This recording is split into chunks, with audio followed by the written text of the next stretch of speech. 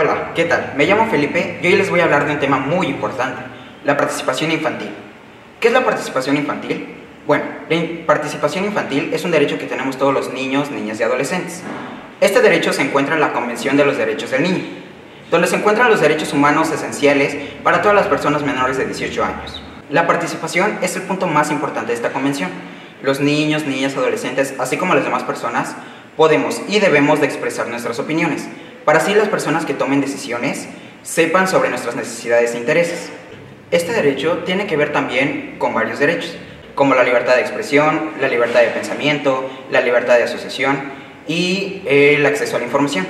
En base al artículo 12 de la Convención sobre los Derechos del Niño, tenemos derecho a ser informados, recibir información sobre los temas que nos interesan, con un lenguaje que podamos entender, ser escuchados, que nuestras opiniones sean escuchadas y respetadas por las y los adultos, incidir en las decisiones, que nuestras opiniones sean tenidas en cuenta en las decisiones que se toman sobre los asuntos que nos involucran o nos interesan, emitir opinión, tener la posibilidad de contar con un espacio que nos permita exponer nuestras ideas y propuestas sobre temas en los que estamos involucrados que nos interesan, dándonos la posibilidad de formarnos una opinión propia o en grupo. ¿Y cómo podemos niñas y niñas participar? Bueno, pues podemos participar en la toma de decisiones en nuestras familias, en nuestro hogar, en nuestra escuela y en nuestra comunidad. ¿Qué te parece si empezamos desde casa? Bueno, te propongo que convoques una asamblea con tu familia. Pero, ¿sabes qué es una asamblea? Bueno, una asamblea es una actividad donde se pueden hablar de ciertos temas para resolver conflictos, para proponer actividades o para seleccionar a una persona que haga una actividad en específico. Te voy a mencionar algunos pasos para que puedas poner en práctica esta asamblea. Primero elijan un tema. Por ejemplo, ¿a qué jugaremos el fin de semana? ¿De qué color pintaremos mi recámara? ¿Qué haremos en el cumpleaños de mi hermano? 2. Propon que la decisión que se tome será por mayoría de votos. 3. Ahora pide que cada quien opine al respecto, mientras los demás la o lo escuchan con atención.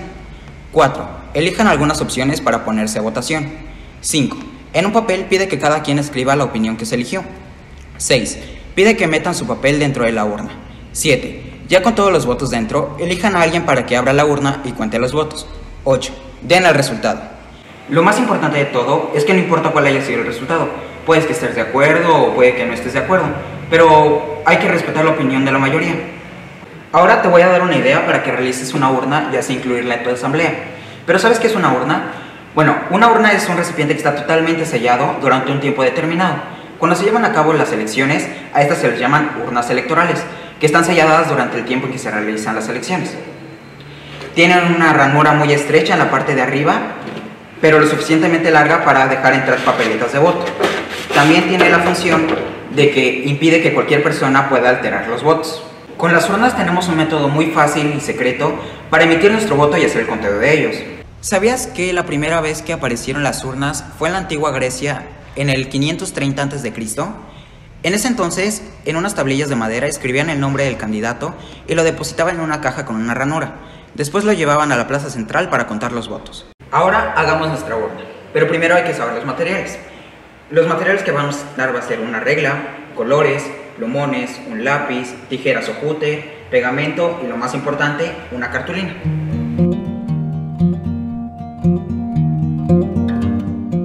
Primero vamos a agarrar nuestra cartulina en blanco. Pero para empezar a hacer nuestra urna hay que hacer ciertas medidas. Entonces, primero que nada, en una de las esquinas vamos a contar 17 centímetros y vamos a trazar una línea vertical, como se muestra aquí. Luego vamos a contar 17 centímetros para abajo y vamos a hacer una línea horizontal. Así también por la parte de abajo para que nos queden tres cuadrados iguales en los lados y tres rectángulos en la parte del centro. Ya que tenemos nuestros trazos marcados, por la parte vertical vamos a hacer dos cortes de esta manera hasta topar con la primera línea horizontal. para que nos quede así, los tres cuadraditos. Ok, después de esto vamos a doblar todas nuestras líneas para que sea más fácil este, manejar nuestra urna. Entonces, por todos los lados vamos a marcar bien nuestros trazos.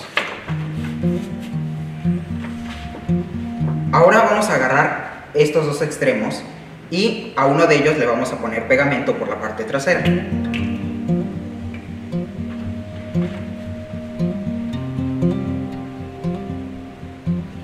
Para que ahora estos dos extremos los podamos juntar de esta manera. Péguenlo muy bien para que les quede bien sellado. Y con el restante lo vamos a pegar aquí para que quede aún mejor sellada.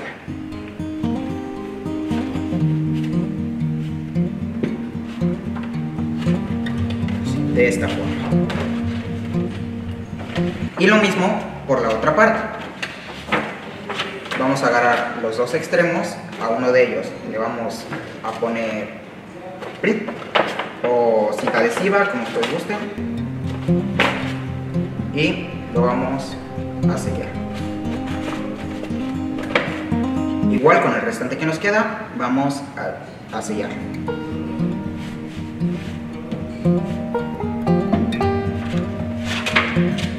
Bien pegado.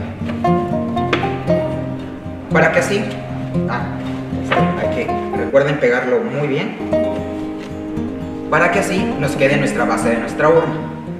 Ahora nos falta hacer la tapa para que quede bien nuestra urna. Vamos a realizar el mismo proceso pero con medidas más chiquitas para que quede bien. Ahora en vez de 17 centímetros vamos a contar 10 centímetros. Vamos a hacer el mismo proceso en todas las esquinas. 10 por 10, 10 por 10, 10 por 10 y 10 por 10 dejando un espacio de 32 centímetros. Recuerden quitarle el sobrante para que nos quede de la siguiente manera. Para que ya nos quede de, de este tamaño. Y lo vamos a repetir con el otro proceso. Vamos a realizar dos cortes por la parte vertical hasta llegar a la línea horizontal.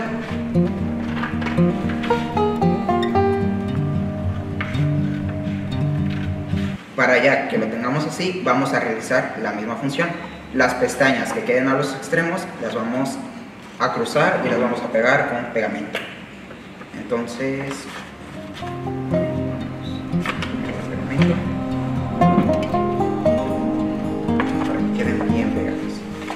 De igual forma, este sobrante nos va a ayudar a que quede bien fijo.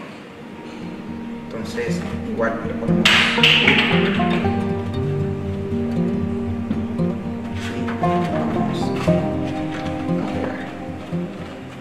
Recuerden hacerlo de, ambos lados para que quede bien sellada. Y así nos quedaría nuestra tapa. Ya que le hayamos puesto la tapa, solo nos falta hacer un corte para la ranura. Puedes usar un cúter o unas tijeras. Ten mucho cuidado con este paso y si puedes pedirle ayuda a un adulto. Solo vamos a pasar por aquí y vamos a hacer nuestra ranura para que aquí puedan caber las papeletas de voto. Entonces aquí ya puedes poner todos los votos. Ahora solo falta decorarla. En mi caso yo la decoré con palabras que creo que son muy importantes para nuestra participación.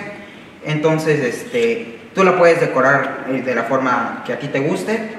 La, usa tu creatividad. Solo este, yo a mí me gusta decorarla de esta forma y ya tenemos nuestra urna completada. Muchas gracias por acompañarnos. No olvides realizar tu asamblea y contarnos cómo te fue. Hasta luego.